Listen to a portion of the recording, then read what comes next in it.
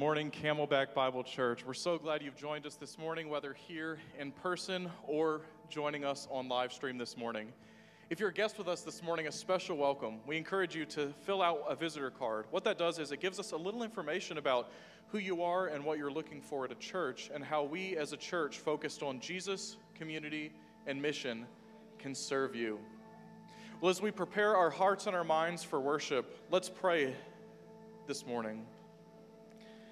Heavenly Father, we come to you and give you thanks that we can gather and worship you this morning. We ask that our sole focus this morning is on you and your glory. We pray that the busyness of this week, all of our distractions subside, and that we can focus on worshiping you with our full hearts, souls, and minds as we get to sing about your goodness and hear your word through scripture and prayer and the sermon. Father, I give you thanks that we can gather this morning. May we worship you well and may we be edified. And it's in Jesus' name we pray. Amen. Well, the psalmist tells us in Psalm 95 Oh, come, let us sing to the Lord. Let us make a joyful noise to the rock of our salvation. Let us come into his presence with thanksgiving. Let us make a joyful noise to him with songs of praise. For the Lord is a great God and a great King above all gods. In his hands are the depths of the earth, the heights of the mountains are his also.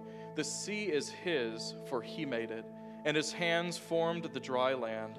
O come, let us worship and bow down.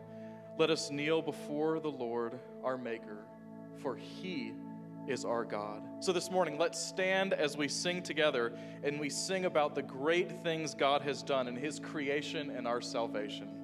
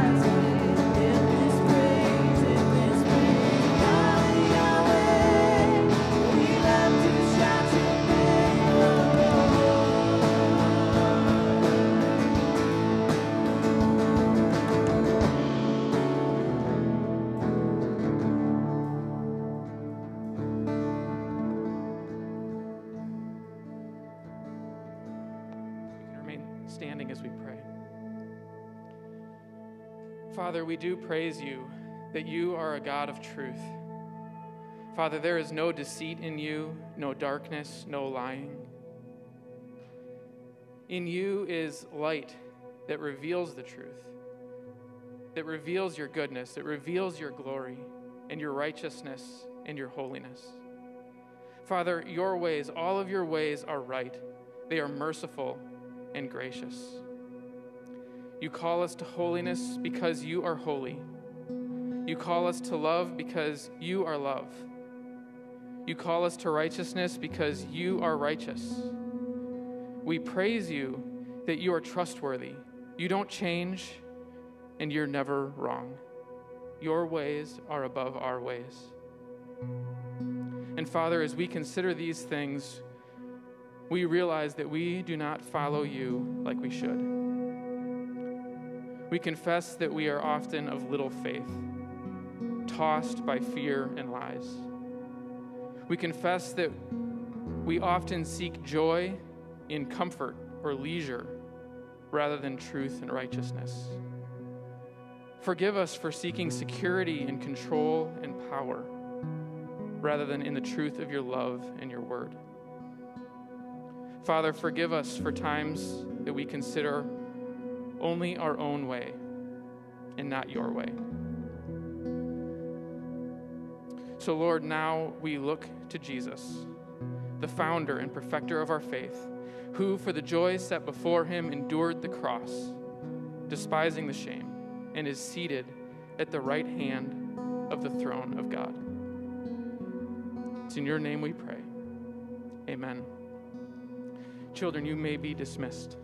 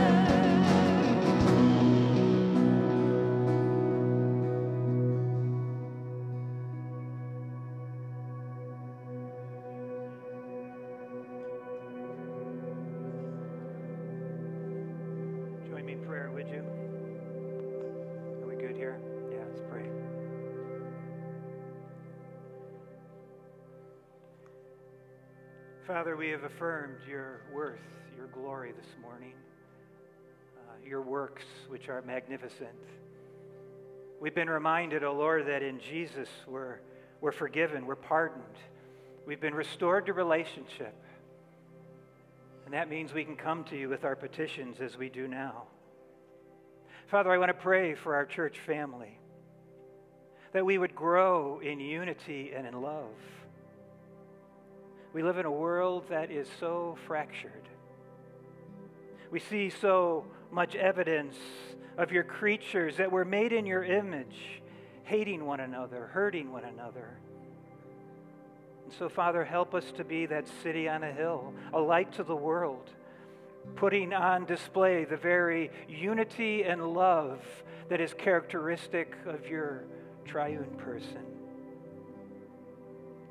And Father, we know if this is going to be a reality, that we will have to be pursuing a deepening relationship and knowledge of Jesus Christ. And so, Lord, give us hearts like the Apostle Paul, who considered all things as loss save the knowledge of Jesus Christ. Help us to pursue a true knowledge and relationship with Christ that results in a way of thinking about and living in this world that mirrors your matchless Son. And Father, we pray that this knowledge of your Son would then impact our marriages and our families. Let our children see husbands and wives who put the interest of the others before themselves. Let them see a quality of character.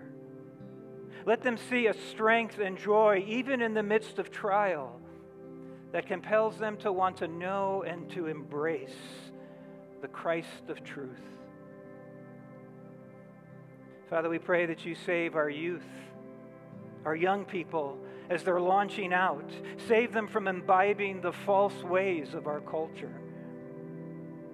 Help them to plant their identity in Jesus Christ. Help them to know your good and perfect way and to follow it in all their relationships in all of their endeavors. And Father, give us a concern for others beyond our families, beyond our church family. Open our eyes, even our hearts, O oh Lord, to see those who are walking on the broad road, a road that's leading away from your presence, that leads sadly to destruction. Father, give us a compassion to work toward their seeing Christ and knowing Him personally. And Father, for some specific needs of our body, even now, we lift to you as well. We pray for some that are fighting COVID. We think of the Druid family, three of them hospitalized, oh Lord. Pray for another uh, gentleman in our body who just got a cancer diagnosis. We pray for those that are suffering the loss of loved ones and those who are dealing with loneliness, some depression, O oh Lord, and anxiety, O oh Father, draw near to each and let them find in Jesus a sufficiency. It's in His name that we pray. Amen. Well, at CBC, we talk about being stewards of all that God has given to us, stewards of our time, our talent, and our resources. And this morning, we wanted to bring up a, a man who, um, who is really stewarding his time and talent in a wonderful way. And uh, I know this man. I work with him uh, in Lagos on, on Wednesday, and uh, I know he wouldn't want to tout his horn, but I, I felt his story would be encouraging us. So, John, I want to encourage you to come on up.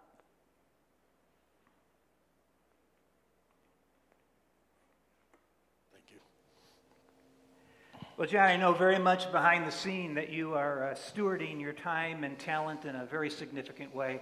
Uh, tell the body a little bit about what that entails. Uh, thank you, Ron. Um, so, what that entails is um, I've been serving in a way for our widows, um, some of our older couples who are no longer able to either financially or physically uh, be able to maintain their homes. Been doing it for some time. I was sharing with Ron. I was remembering back the first time it happened, and it was over 20 years ago. I was working here at the church, and we had a congregant whose washer dryer unit, it was all one, the washer needed repair, and it was close to a $300 repair. But believe it or not, it was just a $5 or $6 part that needed to be replaced. So it was all labor. Um, they recognized in my youth I had this mechanical ability and figured it was a long shot, but give the kid a try and see if he could fix it. And I was able to, but uh, I was able to see God's blessing through that. Um, see how service of time and whatnot can just glorify God's kingdom and be able to uh, bring us all closer together. John, tell us the why, the motive behind this. Um, the why and the motive. I'll be honest, the older I get and the more I'm reading the Bible, I really see that service to God, service to our body, is honestly interlaced in the underlying theme. Uh, think to um, basically First Peter 4, where it says we are stewards of God's grace and we are to use our talents, our resources to serve the body. I think of Matthew 25 when um, Christ is talking about the final judgment, and he talks about how we've clothed, we've fed, we've quenched thirst, we've um, visited people who are poor or people who are imprisoned. And, Christ, and he says, it's like we have done it unto God. We have served our Lord in those actions. That's beautiful, John. John, uh, tell us um, what effect have you seen uh, that comes out of your stewardship of your time and talent? Um, most of all, hopefully, just a growing and a glory to God in the work that is actually done. Um, lifelong relationships, um, people that I've you know been able to serve or whatnot. It just you create a special bond. You know, some of the times when I'm there working I just sit there and listen to them, you know, and they want to talk. They want to grow together. They want to talk about Christ, which is absolutely spectacular. Um, the third one, um, I kind of was talking how it was accidental, but I am totally and wholly grateful for it. So when I was doing this, a lot of the times our son Jesse would come along, and my main purpose was to teach my son how to maintain a house or how to do these things and how to grow but through it, um, now in his older age, he's 22. I'm getting ready to graduate here. And one of the things he expressed to me, actually, just about a month or two ago, we were talking, is that he was looking forward to finishing school because he wanted to serve with his dad again and be able to do this. So that's just phenomenal. We're seeing God's fruit, or I am blessed to be able to see God's fruit in one of my children through the service. So one of the reasons I'm up here sharing this is we're trying to grow the men's ministry right now, and we want to see this happen in fathers and sons, more specifically in our men's ministry.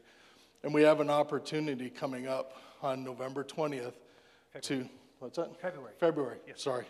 Did I say November? Sorry, I had COVID. I'm going to call it COVID brain. So, February 20th to be able to serve um, at the, I always forget the name, or say it wrong. Creighton, Creighton Foundation. Creighton Foundation, yeah. who serves one of the local school districts that's more um, impoverished. And this wasn't the start of his ministry, but through COVID, he started a food um, distribution. So every single Saturday, he packs food for two hours, and then he basically distributes food for two hours to the local people around there. Um, I know this is kind of more of a younger group, so I'll say it a little bit more strongly. I really, really, guys, grab your sons and come out and do this service. We need to plant the seeds in our kids so we can see that mature and grow as God actually waters them. Yeah, so that's February 20th, uh, a work day, 8 to 12. If you can only come for a couple of hours, we've got a couple hour slots. Um, but we want to we wanna show our, our young men uh, that we use our strength to help others. Um, and so uh, you need to sign up on the Church Center app so that we know we've got ample people to help and uh, make this happen on, on the 20th. Another way that we uh, steward is we steward with our resources, our finances. And because of COVID, we don't take a collection, but we know many of you have been so generous in your giving online and uh, giving uh, as, you, as you leave and so on. And, uh, but right now, just musically, we want to think about our stewardship of time, talent, and treasure uh, ultimately just giving God uh, all that He's given to us and giving it back, back to Him. Let me pray. Father, thank you. Uh, you've given so much to us in your Son, Jesus Christ. You've given us all that we have life and health and breath. And we have a privilege, O oh Lord, uh, to give back to you with our time, talent, and treasure. May those be acts of worship, O oh Lord, with which you are well pleased. In Jesus' name we pray. Amen.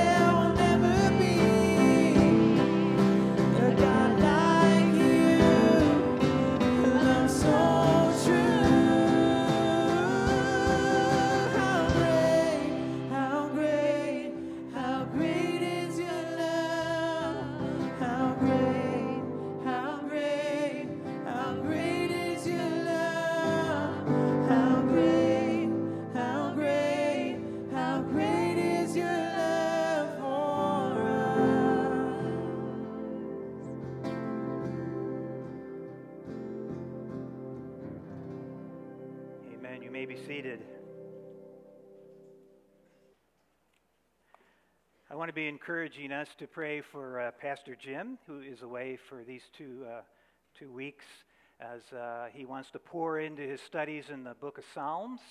uh, which is going to be the next uh, scriptures that we'll be studying together. Uh, next week, Pastor AC will be preaching, and today is Benji's first day at church. Pastor AC and Lauren, good to have you. Good to see AC with that baby in his hand, like a football. We are thrilled for you guys. Well, during World War II, the U.S. government created the U.S. Office of War Information. And one of the roles was to call people to action. The leaders knew that if the war was to be won, everybody needed to be committed, everybody needed to be involved. And one tactic they used to call people to action was placing posters throughout the country. Perhaps one of the most iconic posters shows a picture of Uncle Sam with his finger pointed, accompanied by the words, I want you for the U.S. Army. It was a call to enlist. There were other calls as well. There were calls to work hard so that more ordnance could be delivered to the front lines. There were calls to conserve resources. You know, during a wartime, you can't waste resources, you got to use them well. There were even calls to save waste fats that could be used for explosives. The leaders knew that success required not only admiration of the war effort, but direct engagement. And so they put forth many calls to action. Well, in a similar, similar manner, now we enter the portion of the Sermon on the Mount, chapter 7, verse 13, where Jesus extends a call to action. He's given his auditors some amazing teaching, the Beatitudes, instruction on prayer and fasting and giving, training about money, anxiety, and judging. He's laid out the intended lifestyle for the new community that he was forming, but he was looking for more than admiration. Martyn Lloyd-Jones says, It's not praise he desires, it's practice. The Sermon on the Mount is not to be commended, it's to be carried out. Again, Lloyd-Jones says the Christian message is not some theoretical idea. It is something that really is to become characteristic of our daily life and living. This is the purpose of the remainder of this sermon. And so, to what does Jesus call his hearers? Well, we find the first application in verses 13 and 14. Open your Bible to uh, Matthew chapter 7. We'll look at verses 13 and 14 first. Jesus says, Enter by the narrow gate. For the gate is wide and the way is easy that leads to destruction, and those who enter by it are many. For the gate is narrow and the way is hard that leads to life, and those who find it are few. And so we're confronted in these two verses with the proverbial fork in the road. A choice is given two ways, not three ways, not many ways, all leading to the same place, as some might suggest. No, it's a choice not all that dissimilar to, the, to a choice given to God's people in history. Moses declared to the people, See, I have set before you this day life and good, death and evil. Therefore, choose life that you and your descendants may live. Joshua, at the end of his days, challenged his people, saying, Choose you this day whom you will serve. As for me and my house, how does it end? We will serve the Lord. Jeremiah, relaying the message of God, said, And to this people you will say, Thus says the Lord, Behold, I set before you the way of life and the way of death. We see the same binary choice in Psalm chapter 1, several times in the book of Proverbs. And now we see it on the lips of Jesus. And what are the two ways to which Jesus draws attention? Where the first way is described as wide and spacious. It's an easy, pleasant, agreeable way. And besides, there's no lack of companionship. It's a road much traveled. I actually think there are two versions of this way. One is non religious, and the other is religious. John Stott well describes the non religious version. He says, There is plenty of room on it for diversity of opinions and laxity of morals. It's the road of tolerance and permissiveness. It has no curbs, no boundaries of either thought or conduct. Travelers on this road follow their own inclinations. That is the desires of the human heart in all of its full fallenness. Superficiality, self love, hypocrisy, false ambition, censoriousness. These things do not have to be learnt or cultivated. Effort is needed to resist them. No effort is required to practice them. That is why the broad road is easy. C.S. Lewis, in his autobiography, describes his travels on the broad road. When, as a schoolboy of 13 years of age, he decided to broaden his mind, he states, I was soon, in the famous words, altering I believe to one does feel. And oh, the relief of it. From the tyrannous noon of revelation, speaking of the revelation of God, I passed into the cool evening twilight of higher thought, where there was nothing to be obeyed and nothing to be believed except what was either comforting or exciting. That's the essence of the broad road. But there's a religious version of it as well, which Jesus has actually been battling in the Sermon on the Mount. It's the way of the so called righteousness of the Pharisees, which seeks to make easy the exacting standards of our Lord's holiness. The Pharisees, in their heart of heart, knew that they could not keep God's law. And so they manipulated it and minimized it, reducing it merely to external behaviors. But in chapter 5 of Matthew, Jesus dismantles and exposes the bankruptcy of their false way. He says over and over, You have heard it said. You know what the religious leaders are saying all about this, but I'm telling you what this really means. And he goes back and forth. You've heard it said, but this is what I say to you. Showing them that their system of religion was neglecting the heart you know, sometimes when we present the gospel as an event and not as a lifestyle, we're doing the same thing. All you got to do is accept Jesus in your heart and you're good to go. Leaving the implicit suggestion that the gospel doesn't bring demands on the way that we live. Or sometimes, if we don't like what the word says, we interpret it in a new way in order to please our desires. I've had people in my office who said, I, I, I think God wants me to be happy. That verse can't mean what it says. This way, this religious way, can also be characterized by ritual over against loving your neighbor. It satisfies oneself with religious activities like going to church, reading my Bible, saying my prayers, giving my offerings, usually in an attempt to make oneself acceptable to God. But as we look into scriptures, we see that the prophets and Jesus suggest that these things are easy to do. But when unaccompanied by love of neighbor, they don't constitute true religion. In fact, they are condemnable without it.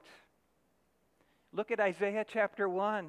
He declares that the Lord is weary of your ritual when it's not accompanied by love of your neighbor and care and concern for them. That's the easy road. In contrast, Jesus offers an alternative path. It's described as a narrow way, which is to say, it's restricted. It's described as hard, meaning difficult, subject to persecution and distress. And to make things more challenging, there are few who join us on this way. And how is it that this is hard?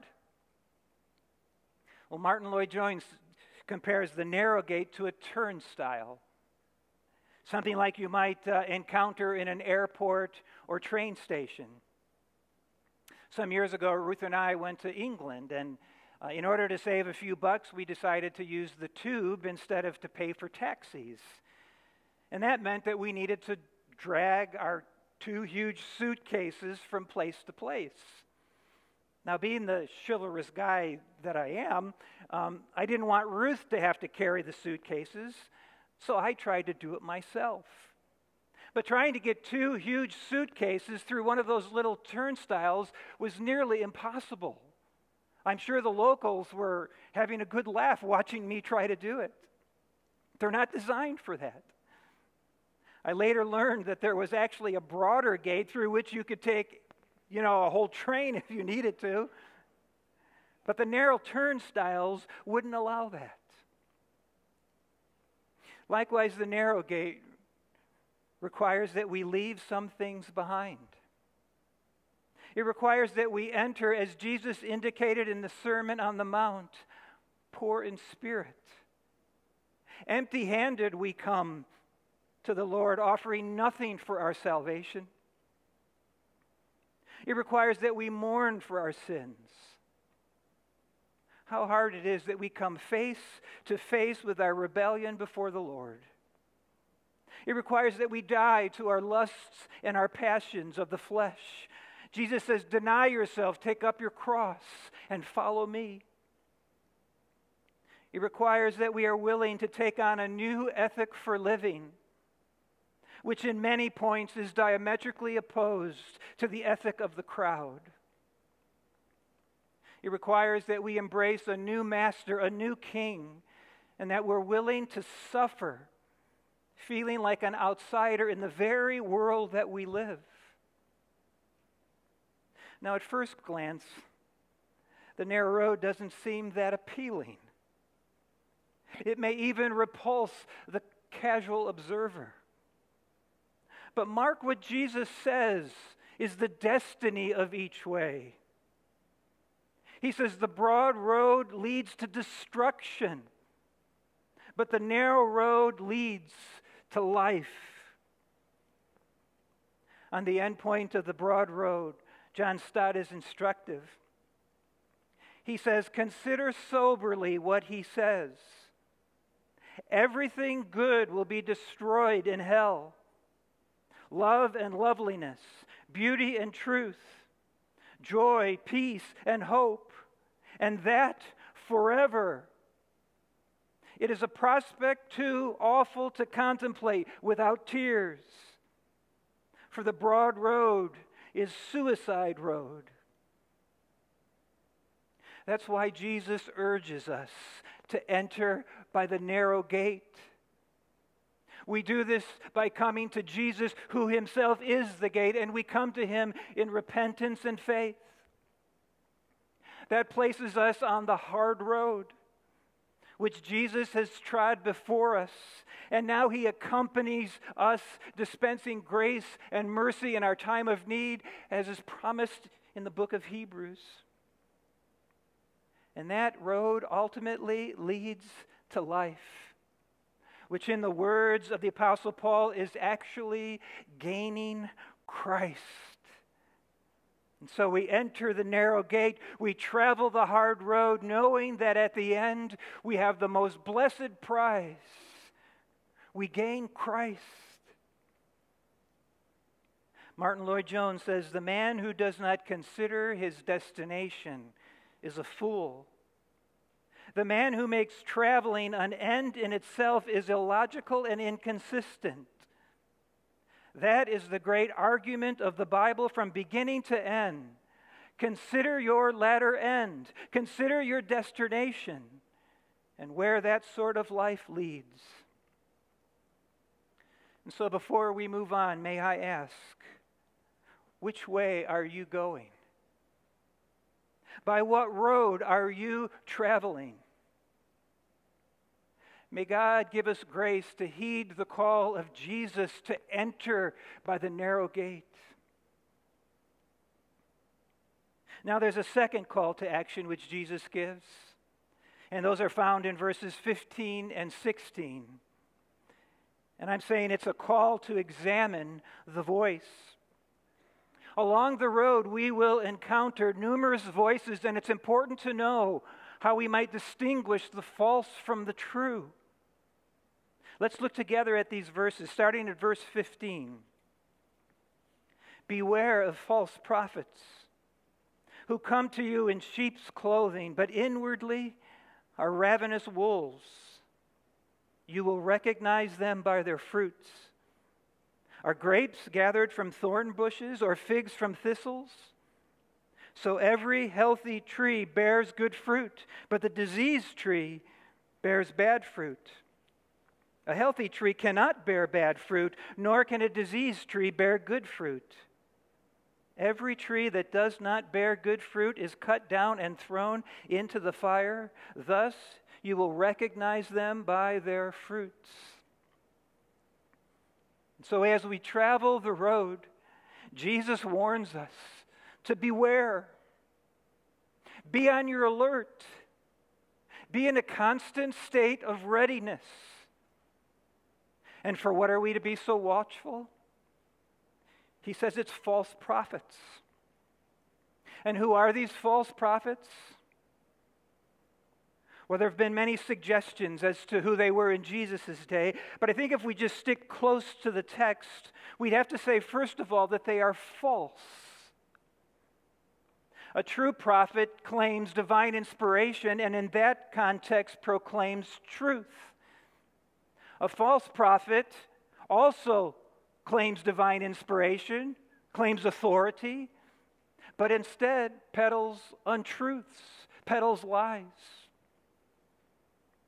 A second thing we can learn from the text is that false prophets come to us appearing to be the real deal. They seem safe to us.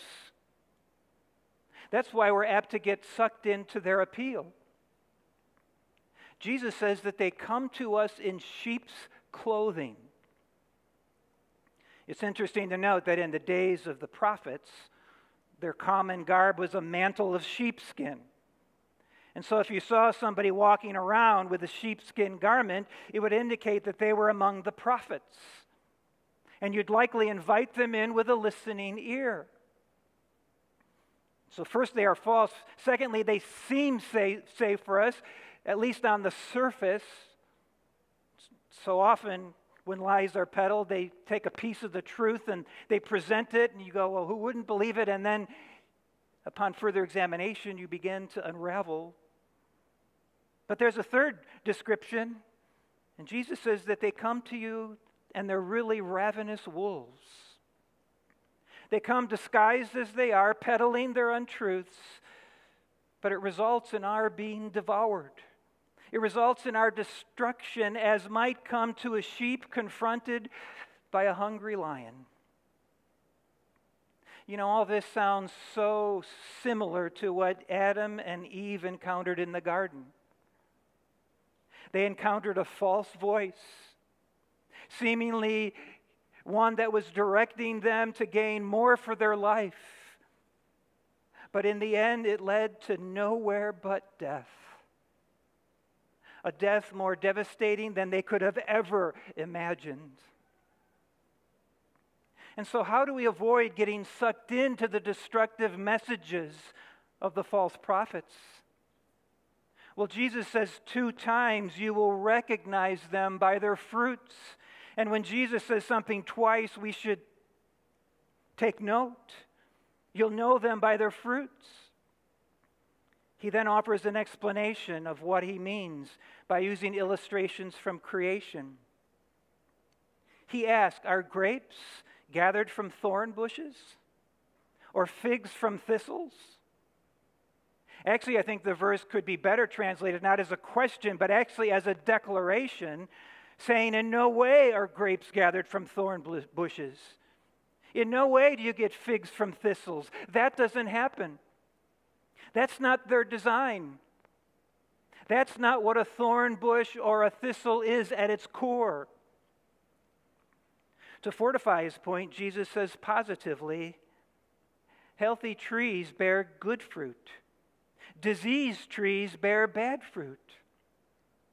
And so, if a tree at its core is sound, it'll likely produce good fruit. Fruit that's useful, excellent in nature and characteristic, well adapted to be consumed and enjoyed. But if a tree at its core is rotten, so will its fruit be. It will produce fruit that is of little or no value, tasteless, rotten, not fit for us to consume. To further nail down his point, Jesus then says the reverse. He says, A healthy tree cannot bear bad fruit, nor can a diseased tree bear good fruit. The point being made that the man or the prophet, what he is at his core, will eventually and necessarily come out in the fruit of life. Now, this begs the question what are we looking for in the fruit? How do we judge the fruit? Are there tests that we can employ to help us? In my research, I came up with several tests that I think are helpful, and I want to share those with you. The first test is the character test. That means we look at the moral quality of the prophet's life. We ask, is it consistent with the Sermon on the Mount? Does the prophet evidence being poor in spirit? Is he ever seen to mourn for his sins? Is he known for his mercy toward others? Do you ever see him hunger and thirst for righteousness? Is he practicing his spiritual disciplines in such a way as only to be seen by God? Is he focused on kingdom issues and not worried about temporal things? Is he careful with his judgments? In short, do we see the character of Christ on display? Now, I want to pause for a moment and say, if we require perfection of any of these tests, all will fall short. We won't find a perfect prophet except Jesus. But what we're looking for is a life trajectory, something that characterizes a life. The second test is the doctrinal test we have to ask if this man's teaching, this prophet's teaching, squares with the Bible. John Calvin states all doctrines must be brought to the Word of God as the standard. For in judging of false prophets, the rule of faith, that is, Scripture, holds the chief place. Now, we should note that we should not only look at what the man preaches, but we should also look at what is left out of the preaching. Lloyd Jones says that the false prophet has no narrow gate in his gospel. He says, and I quote, He has nothing which is offensive to the natural man. He pleases all. The false prophet is always a very comforting preacher because it never disturbs and never makes you feel uncomfortable. You carry on as you are. You are all right. You don't have to worry about the straight gate or the narrow way or this particular doctrine or that. If you look at the life of Jesus, you see that he did not leave out the unsettling declarations, but he often used them to shake up the complacent and the errant. His teaching of the narrow gate is but one example. The third test is the test of motive. We should ask whose glory is the prophet seeking? Jesus speaks directly to this in John 7 18. He says, The one who speaks on his own authority seeks his own glory. But the one who seeks the glory of him who sent him is true, and in him there is no falsehood. I like what Barclay adds here. He says, Denney once said, no, no man can at one and the same time prove that he is clever and that Christ is wonderful. Prestige is the last thing the great teachers desire. There's a kind of teacher who uses his message as a setting for himself. The false prophet is interested in self display, but the true prophet desires self obliteration. That leads us to the final test. We call it the influence test. It seeks to know what kind of influence the prophet's teaching has in the life of the hearers. Does the teaching produce love of God and love of, love of others?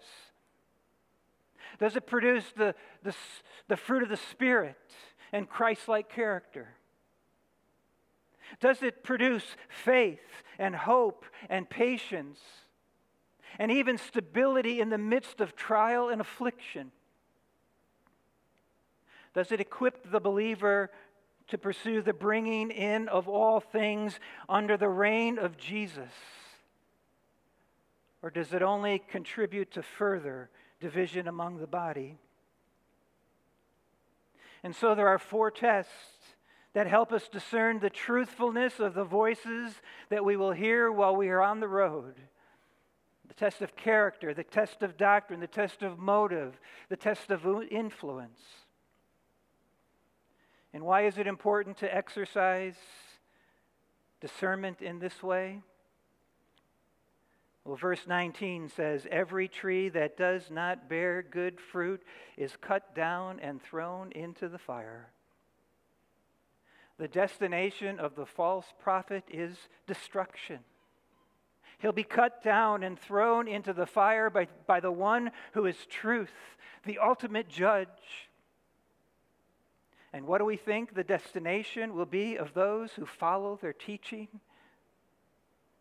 It will not likely be the abundant life to which Jesus is calling us. And so, as we draw to a close, I'd like to affirm three calls to action.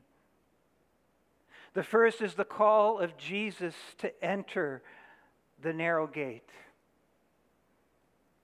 If you're one here today who has never heeded the call to enter the narrow gate, I urge you to consider it today.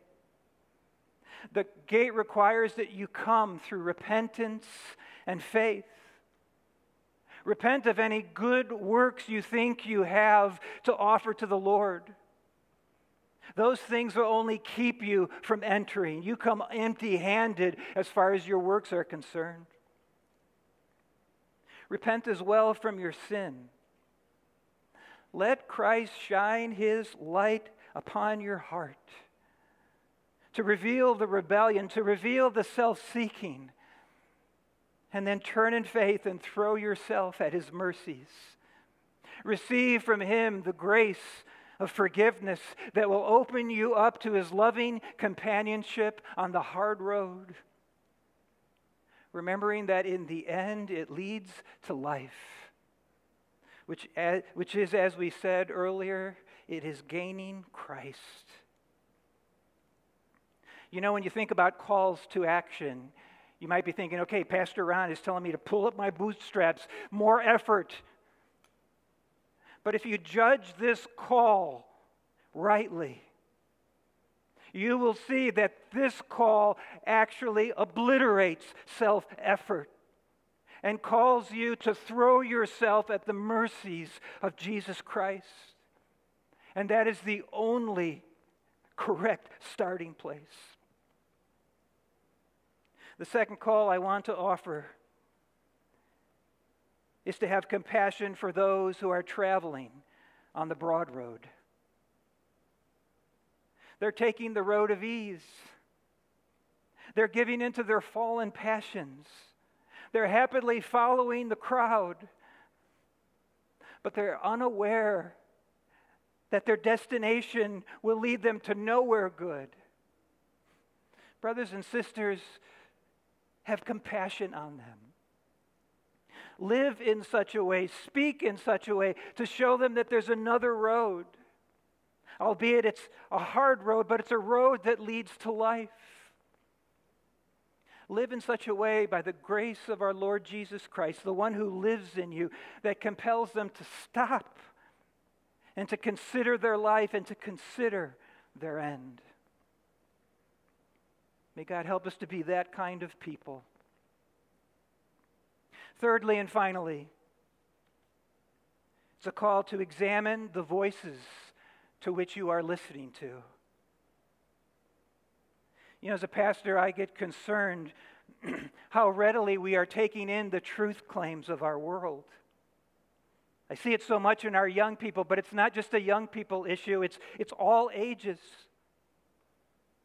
We spend hours on the internet, trolling social media, drinking in so much information, never really examining it, never really walking through the test to see if, it, if, if the messages are valid. And as a result, we are impoverishing our souls. As I said earlier, sometimes those messages, they, they, they come out with a bit of truth, and at first they sound good. And, and you say, oh, well, who wouldn't believe this?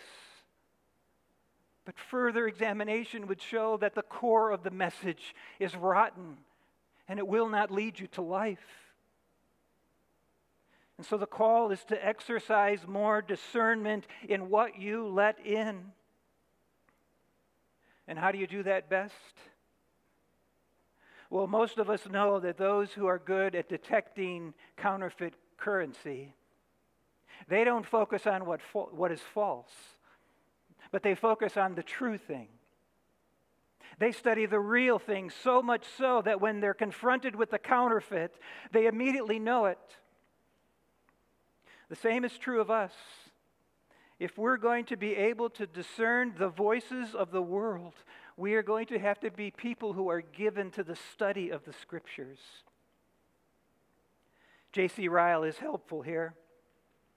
He said, What is the best safeguard against false teaching? Beyond all doubt, the regular study of the Word of God, with prayer for the teaching of the Holy Spirit. The Bible was given to be a lamp to our feet and a light to our path. The man who reads it aright will never be allowed greatly to err. It is neglect of the Bible which makes so many a prey to the false teachers whom they hear. Nothing supplies false prophets with followers so much as spiritual sloth. Happy is he who prays over his Bible and knows the difference between truth and error in religion. There is a difference, and we were meant to know it and to use our knowledge. So the call is to make it a priority, to drink in the Word, to study the Word, to read Christian literature that's saturated with the Word. So when you're confronted with a message, you'll automatically go, something about that doesn't seem right. May God give us grace to heed his calls to action. Well, at this time, we'd like to draw our attention to the Lord's table. And you can just imagine that there's a table in front of me. Take out your uh, bread and, and the cup, if you would.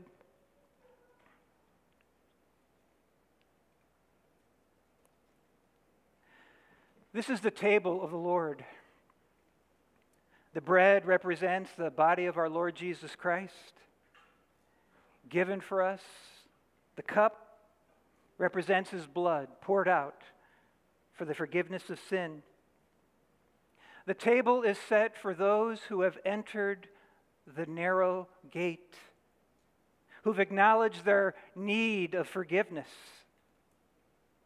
who've come to faith to the only one who has the power to save, Jesus Christ.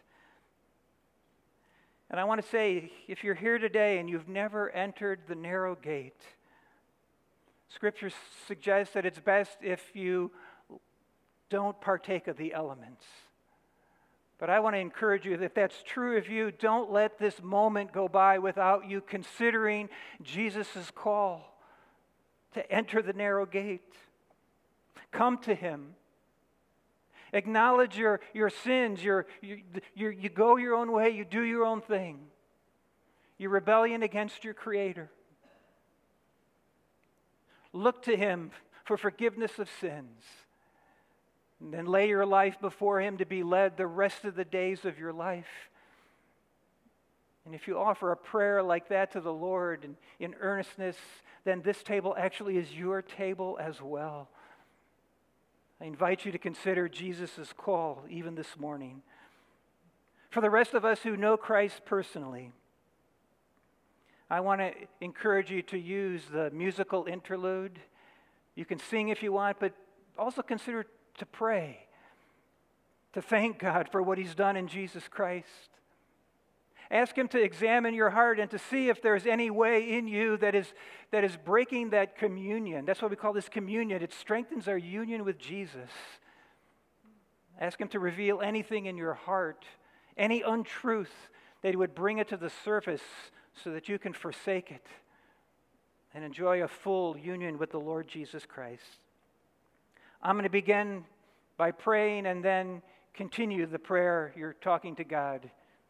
And then after we sing, we will take, partake of the elements. Father, thank you that you love us so, that you were willing to give us your all. You laid it down on a cross. And if the tortures of the cross weren't enough, oh Lord, even worse was your taking upon yourself our sin that would separated us from you. Lord, you had one purpose in mind to restore us to bring us back, to bring us into union with you. Oh Lord, thank you for that communion. You are the way, the truth, and the life. You walk with us on the way. You speak truth that we need to hear. And all along the way and into eternity, oh Lord, you are that life. Father, hear now our individual prayers to you.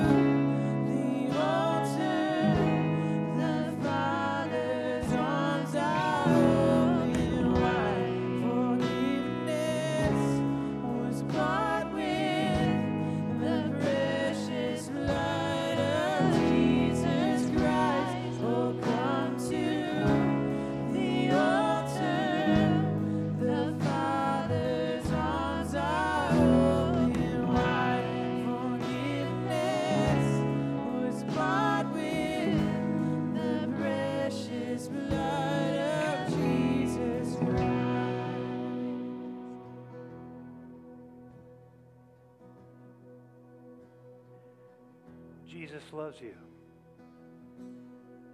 He gave his body to be broken for you. Let's receive it with gladness.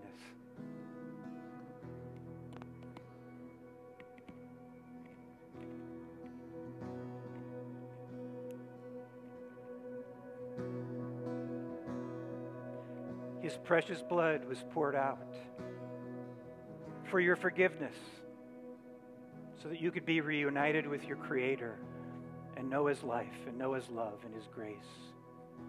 Let's receive it with joy.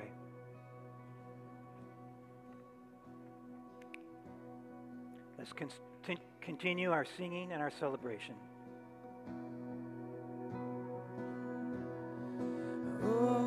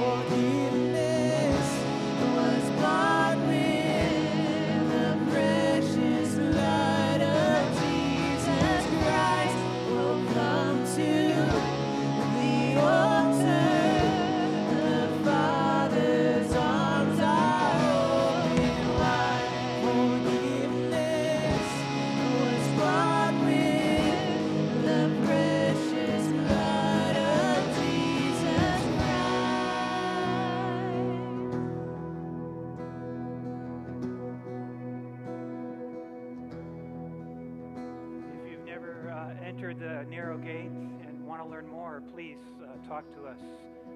Talk to the person who brought you. We'd love to introduce you to Jesus Christ and the life that he came to give. And now a benediction from the book of Jude. And now to him who is able to keep you from stumbling and to present you blameless before the presence of his glory with great joy, to the only God, our Savior, through Jesus Christ our Lord, be glory majesty, dominion, and authority before all time and now and forever. Amen. Go in peace.